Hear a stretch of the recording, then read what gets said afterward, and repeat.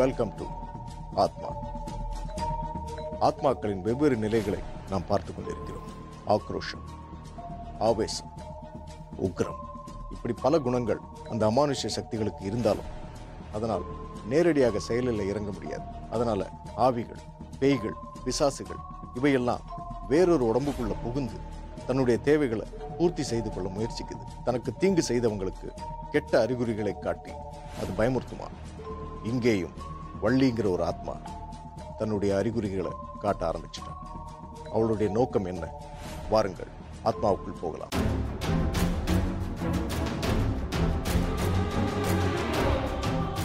ராகவா?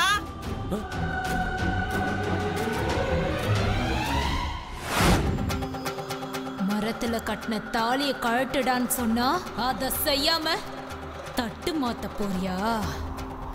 இன்னைக்கு எப்படி நீ தட்டு மாத்துறன்னு நான் பாக்குறேன். வரேன்டா. வரேன் வந்துட்டாங்க சுவாமிஜி. வீட்டுல வந்துட்டாங்க. கொஞ்சம் மாப்பிள்ளை வீட்டுக்காரங்க வந்துட்டாங்க வா.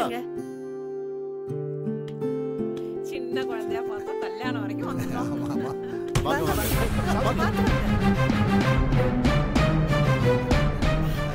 மொத மொத வர்றாங்க இல்லையா?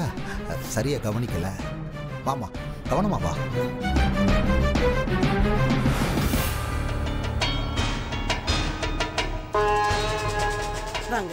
வாங்க வாங்க வாங்க. வந்து உட்காருங்க. வாங்க. வணக்கம். உட்காருங்க.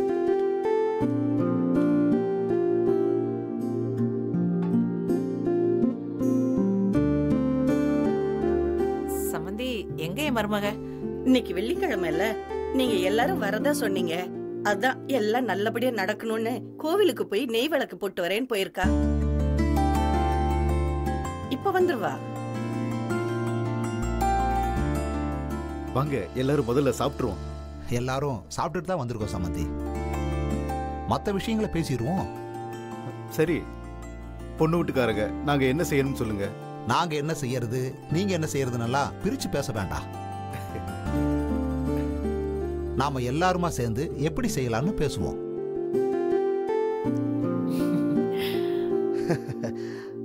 நிஜமாவே உங்களுக்கு ரொம்ப பெரிய மனசு சார். உங்களுடைய பெரிய மனசுக்கும் நல்ல மனசுக்கும் எல்லாம் நல்லபடியாவே நடக்கும். கடவுளோட அருள் நிச்சயமா உங்க எல்லாருக்கும் இருக்கு. எல்லாம் உங்க ஆசீர்வாதம் சாமி.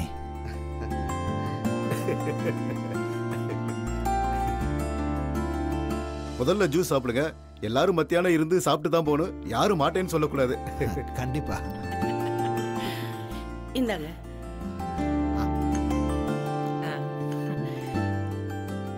மாப்பிள்ள எடுத்துக்கோங்க.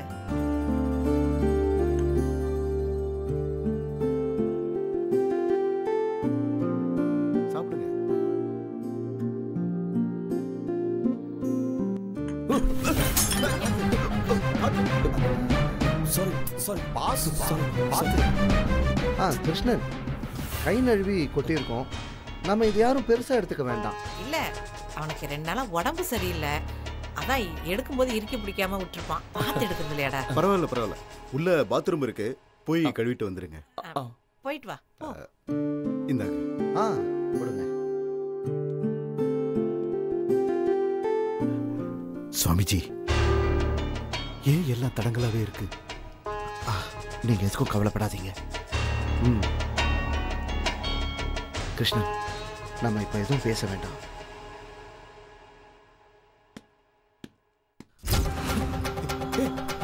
நீ நீ எப்போ வந்த இங்க? நீங்கெல்லாம் எப்ப இங்க வந்தீங்களோ அப்பவே நானும் வந்துட்டேன். இங்க எதுக்கு வந்த? விருந்து சாப்பிட. விருந்தா? நேத்து நான் உன்கிட்ட என்ன சொன்னேன்? மரத்துல கட்டியிருக்க சாமி தாலிய கழட்டித்தான் சொன்னேன்ல. ஏன் இன்னும் செய்யல? என்ன பார்த்தா உனக்கு காமெடியா இருக்கா? மரத்துல கட்டின தாலியை கழட்டினா அப்புறம் எங்க கல்யாணம் எப்படி நடக்கும்? நீ கல்யாணம் பண்ணு இல்ல கருமாதி பண்ணு? முதல்ல நான் சொன்னதை செய். ஐயோ கத்தாத. எனக்கு பயமா இருக்கு. கொஞ்சம் போறேன். இந்த நிச்சயதார்த்தம் மட்டும் முடியட்டும். பெரியவங்க கிட்ட நான் கேட்டு செய்றேன். ஏன்? என்ன பார்த்தா பெரியவங்க மாதிரி தெரியலையா? நான் சொல்லிக்கிட்டே இருக்கேன். நீ ஏதாவது பதில் சொல்லிக்கிட்டே இருக்க? மரத்துல கட்டின தாலிய கழட்டாம நீ எதுவும் கழட்ட முடியாது. கொஞ்சம் பொறுமையா தட்டை மாத்திக்கிறோம். முதல்ல தாலிய கழட்டிட்டு வந்து அப்புறம் நீ எதை வேணாலும் மாத்து.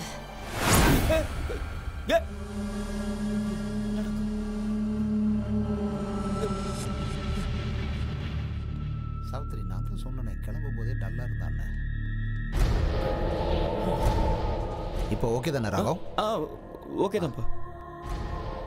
என்ன சம்மந்தி பொண்ணு இன்னும் வரலையே? அது வந்து பொண்ணு வரலன்னா என்ன? பொண்ணோட சம்மதத்தோட தான் நாங்க இதுக்கு ஏற்பாடு பண்ணியிருக்கோம். ஆ சரி கிருஷ்ணன் நல்ல நேரம் முடியறதுக்குள்ள நம்ம தட்டை மாத்திக்கலாமே. அதுவும் சரிதான். சுவாமிஜி சொல்ற மாதிரி நல்ல நேரம் முடியறதுக்குள்ள தட்டை மாத்திக்கோமே ஆ சரி. வாங்க.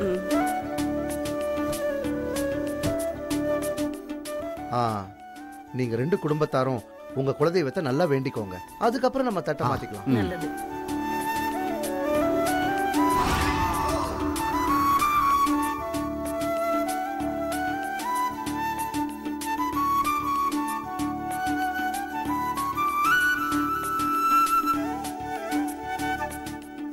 தட்டு மாத்த போறீங்களா? தட்டு எடுங்க. கிருஷ்ணன் முதல்ல நீங்க தட்டு எடுத்து கொடுங்க. அதுதான் முறை. அதுக்கப்புறம் அவங்க கொடுக்கட்டும். நீங்க வாங்கிக்கோங்க. சரிங்க. நீங்க ரெண்டு பேரும் சேர்ந்து வாங்கிக்கோங்க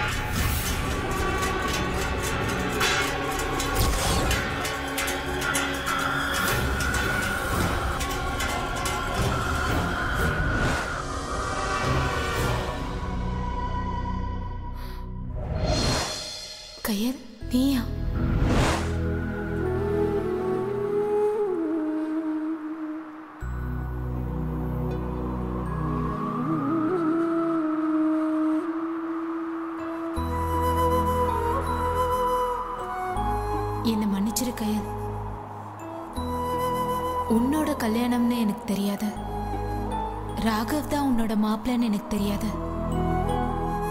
ராகவ் ரொம்ப நல்லவர். உன் மேல உயிரையே வச்சிருக்காரு. அவர் கூட நீ சந்தோஷமா வாழணும். அதுதான் என்னோட ஆசை கயல். சரி உனக்கு என்ன நடந்தது? அத சொல்லு. அதெல்லாம் விடு கயல். உனக்கு நல்லது நடக்க போற இந்த நேரத்துல அது எதுக்கு? வள்ளி அத நான் தெரிஞ்சுக்கணும். அவங்கள நான் பாத்துக்கிறேன் கயல். கயல் முதல்ல உன் கல்யாணம் நடக்கட்டும்.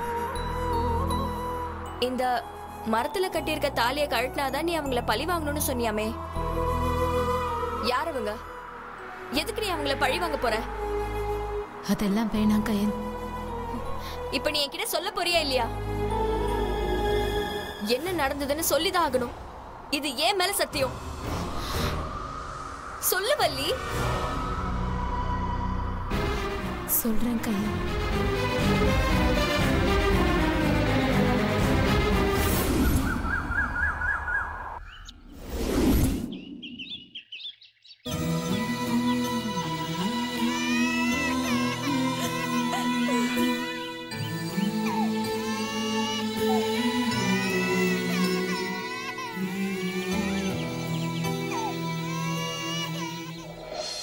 நான் செய்யக்கூடாத தப்பு செஞ்சிட்டேன். உன்னை என் கூட நான் கொண்டு போக முடியாது. உன்னை நான் அனாதையா விட்டுட்டு போறேன். என்ன மன்னிச்சிருடா செல்லும். என் விதி சரியில்லை. ஒருத்தரை நம்பி நான் மோசம் போயிட்டேன். என் தலையெழுத்து என்னுடைய போகட்டும். நீ நல்லா இருக்கணும். நல்லா இருப்ப என்ன மன்னிச்சிடுடா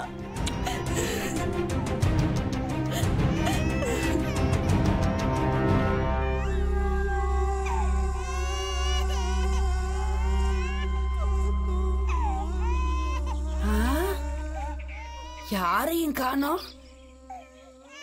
யாரோட குழந்தைன்னு தெரியலையே?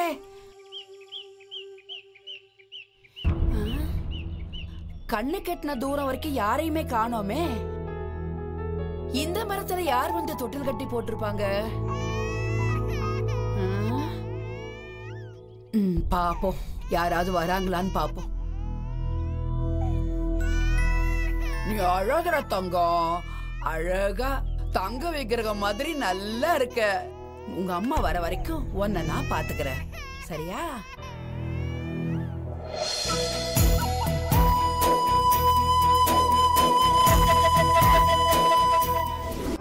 ஆதரவு இல்லாம மரத்தடியில் வாழற வள்ளிக்கு அரவணைப்பா பாட்டி வராங்க. அதனால தன் தாயைப் போல மரத்தையும் தந்தையைப் போல பாட்டியையும் நினைக்கிறா வள்ளி. பாட்டியும் வள்ளியை ஆசையாக வளர்க்குறாங்க. இப்படி சந்தோஷமா போயிட்டு இருக்கிற இவங்க வாழ்க்கையில ஒரு சோக புயல் வீசப்போகுது. வள்ளி தனக்கு தாய் தந்தை இல்லை என்ற குறை தெரியாமல் வளர்க்கப்படுகிறாள். அவளுக்கு தெரிந்தது இந்த உலகத்தில் இரண்டு. ஒன்று பாட்டி இன்னொன்று மரம். கோவில் தன் வேலை என்று சந்தோஷமாக வாழ்ந்து கொண்டிருக்கிறார் வள்ளி. இந்த ஊர் மக்களும் அவளை வீட்டில் ஒருத்தியாக பார்த்து கொண்டிருக்கிறார்.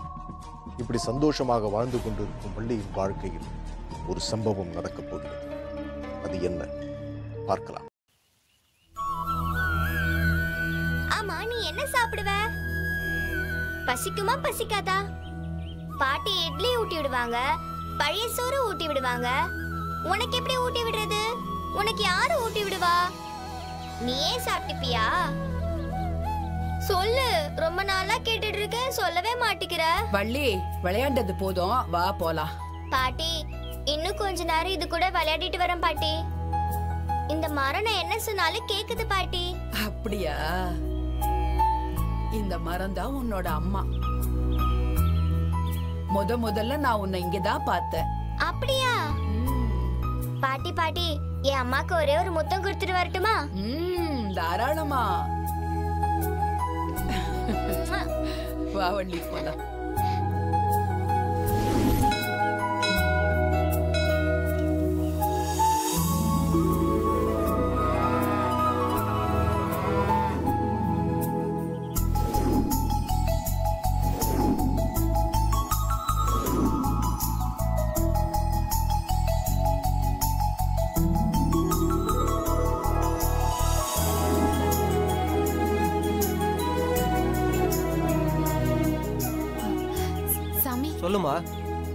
கூட்டி பெருக்கியாச்சு. சரி. நிலத்துக்கு தண்ணியும் விட்டாச்சு. சரி. அபிஷேகத்துக்கு மட்டும் பூ கட்டி எடுத்துட்டு சாமி. எல்லா வேலையையும் சரியா செஞ்சிருக்கம்மா. உங்க அம்மா வேற யாரும் இல்ல. இந்த அம்மன் தான் உன்னை பெத்திருக்கா. அவ தான் உன்னை இங்கேருந்து கொண்டு போய் மரத்தடியில போட்டிருக்கா. அதான் பெத்தவளை பாத்துக்கிற மாதிரியே அம்மனை பாத்துக்கிற. இல்ல இல்ல. என்ன பெத்தது மரந்தா.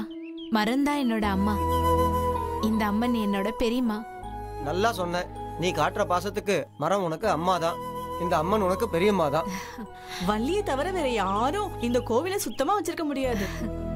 இந்த கோவில் எவ்வளவு அழகா இருக்கோ அதே மாதிரி உன் வாழ்க்கையும் அழகா இருக்கும். உன்னை அந்த அம்மனே பாத்துப்பா என் வாழ்க்கையே கோயில் தான்க்கா கோயில் வேற என் வாழ்க்கை வேறயா? வள்ளி நீ ரொம்ப க்ஷேமமா இருப்பம்மா. ஏம்மா. வள்ளி. ஆ வரேன் பாட்டி.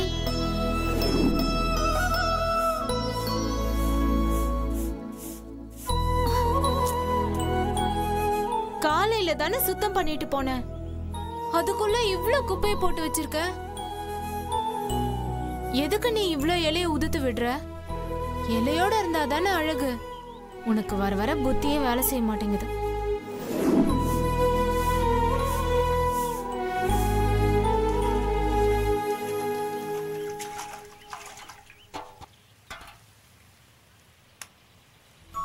நிறைய தண்ணி குடி. அப்பதான் அடிக்கிற வெயிலுக்கு நல்லது. நான் ஒருத்தி வந்து தினமும் சுத்தம் பண்றேன் பேசுறேன் தண்ணி ஊத்துறேன். உனக்கு ஏதாவது தெரியுதா? உனக்கு தெரியுதான்னு எனக்கே தெரிய மாட்டேங்குது. சரியான மக்கா இருக்க. மக வந்தானா? பெத்தவங்க என்னெல்லாம் கொடுத்து அனுப்புறாங்க தெரியுமா? நீ என்ன பண்ணுவ? உன்னால முடியறத தானே கொடுக்க முடியும். உனக்கு ஒரு விஷயம் தெரியுமா? கோயில்ல எல்லாருமே அம்மனோட பொண்ணுன்னு என்ன சொன்னாங்க? நான் என்ன சொன்னேன் தெரியுமா? என் அம்மா மறந்தா இந்த அம்மன் என்னோட பெரியம்மான்னு சொன்னேன். சரிதானே?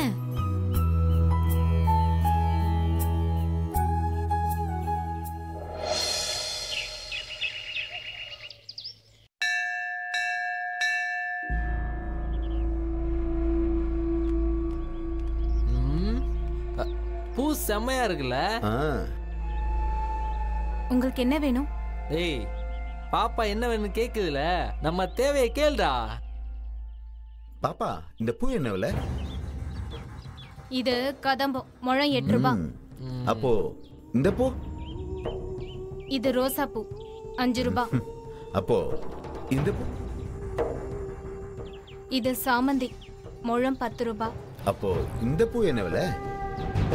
இது மல்லிகைப்பூ முழம் பதினஞ்சு ரூபாய் அப்போ இந்த பூ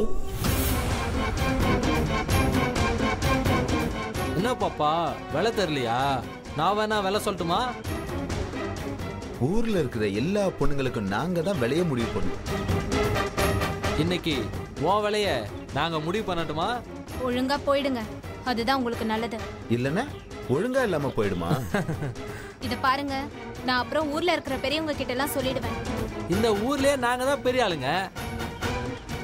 எங்களோட பெரிய ஆளுங்க யார் இருக்கா? நான் இருக்கேன்டா. இதோ பாரா நம்மளோட பெரிய ஆள. வணக்கம் ப்ரோ இங்க பார். ரெண்டு பேருக்கும் சேர்த்து ரெண்டு எண்ணுவேன். அதுக்குள்ள ரெண்டு பேரும் இங்க இருந்து கிளம்பிடுங்க. எங்க? ஒன்னு ரெண்டு சரியான்னு பாப்போம். இது ஒண்ணு. இது ரெண்டு. மூணாவது பாக்குறியா?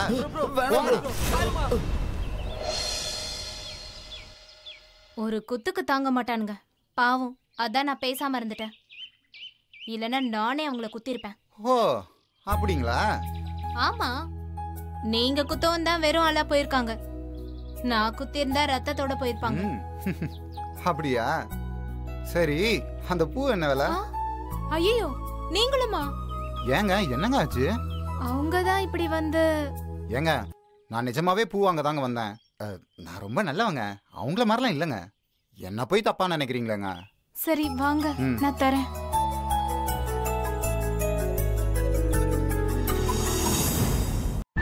ஏழைக்கான நீதி என்பது எட்டாக்கல். இது வள்ளிக்கு மட்டும் விதிவிலக்கா என்ன? தன்கிட்ட தவறா பேசி தவறா நடக்க முயற்சிச்ச ஒரு ரெண்டு பேரையும் வள்ளியால என்ன செஞ்சிருக்க முடியும்? சேகர் அவங்கள அடிச்சு அனுப்பிச்சது வள்ளிக்கு கொஞ்சம் ஆறுதலா இருந்தது. இப்படி கசப்பான பல சம்பவங்கள் வள்ளியோட வாழ்க்கையில நடந்திருக்கு. ஆனா வள்ளியோட வாழ்க்கையில சேகர் அறிமுகமானது அவளுக்கு ரொம்ப இனிமையா இருந்தது. ஆனா உண்மையிலேயே சேகர் வள்ளிக்கிட்ட பூவாங்க மட்டும்தான் வந்தார். மனம் பலவீனமான பெண்களுக்கு அந்த பலவீனமே அவர்களுக்கு எதிரான ஆயுதமாக மாறிவிடுகிறது. அதே பலவீனம்தான் போலிகளை உண்மையாக நம்பவும் வைக்கிறது. பேய் பிசாசுகள் கூட பெண்களுக்குள் புகுந்து ஆட்டி வைப்பதன் காரணம் அவர்கள் மனம் பலவீனமாக இருப்பதால் தான். இங்கே வள்ளிக்கான பலவீனம் அன்பு பாசம். தன் பாட்டிக்கு பிறகு தனக்கு யார் என்று கேள்விக்குறி. அந்த யோசனைதான் அவளை ஒரு முடிவுக்கு எடுத்துச் செல்கிறது. அந்த முடிவு என்ன? பார்க்கலாம்.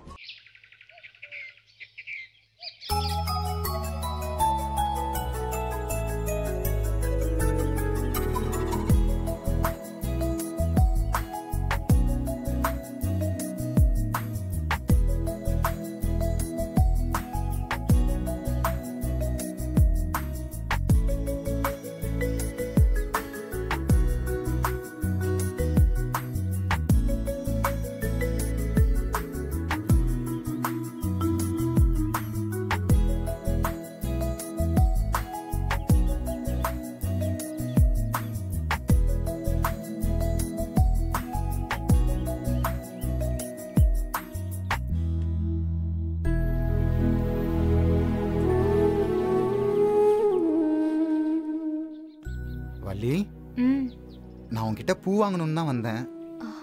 எந்த பூ வேணும்? எனக்கு எதுவும் தெரியாது. நீயே கொடு. அம்மனுக்கு மல்லிகைப்பூ தான் வாங்குவாங்க. சரி அப்ப அதையே கொடு.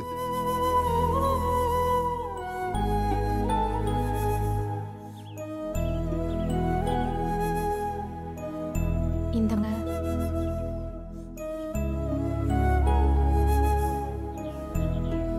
எல்லாருக்கும் பூ கட்டி கொடுக்குற. நீ தலையில பூ வச்சுக்க மாட்டியா? இன்னைக்கு நான் வாங்கின இந்த பூ உனக்கு தான் நீ வச்சுக்கோ.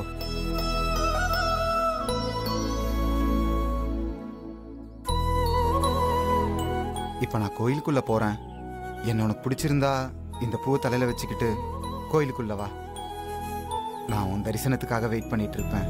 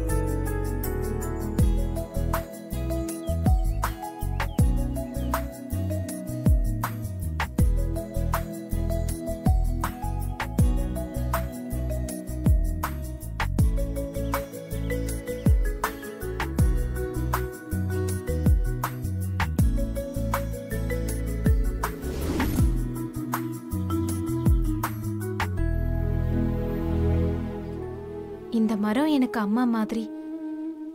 இந்த மரத்துல தான் என்னை தொட்டில் கட்டி தூங்க வைப்பாங்களாம். என் பாட்டி அப்படிதான் சொன்னாங்க. என்னை பெத்தவங்க யாருன்னே தெரியல. நான் ஒரு அனாதை. இந்த மரம் நான் பாட்டி எங்க குடும்பத்துல அவ்வளோதான். நீங்க பெரிய குடும்பம். உங்களுக்கு அம்மா அக்கா எல்லாரும் இருக்காங்க. என்னை ஏத்துக்குவாங்களா? நான் ஏத்துக்கிட்டேன் வள்ளி. என் மனசு உன்னை ஏத்துக்குச்சு வள்ளி. என் உலகமே நீதான். இந்த உலகத்துல நீ நான் நாம ரெண்டே பேர் தான் அப்போ இந்த மரம்? ஆ அதுவும் தான் அந்த மரமும் இந்த உலகத்துல நம்ம மூணு பேர் தான் ஓகேவா இப்ப கூட என்னால நம்ப முடியல. நீங்க என்ன காதலிக்கிறேன்னு சொல்றீங்க? என் மனசுலயும் அப்படிதான் படுது. ஆனா இது உண்மையா? நடக்குமான்னு எனக்கு எதுவும் புரியல. உனக்கு என் மேல நம்பிக்கை இல்லையா வள்ளி நான் அதுக்கு சொல்லல.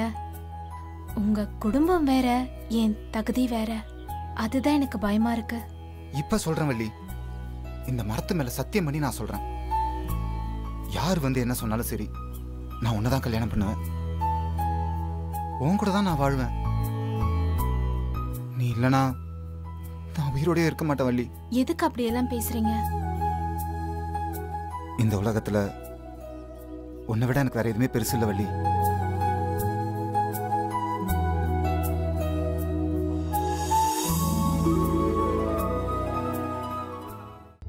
சேகர் தன்னுடைய காதலை வள்ளிக்கிட்ட சொல்லிட்டார்.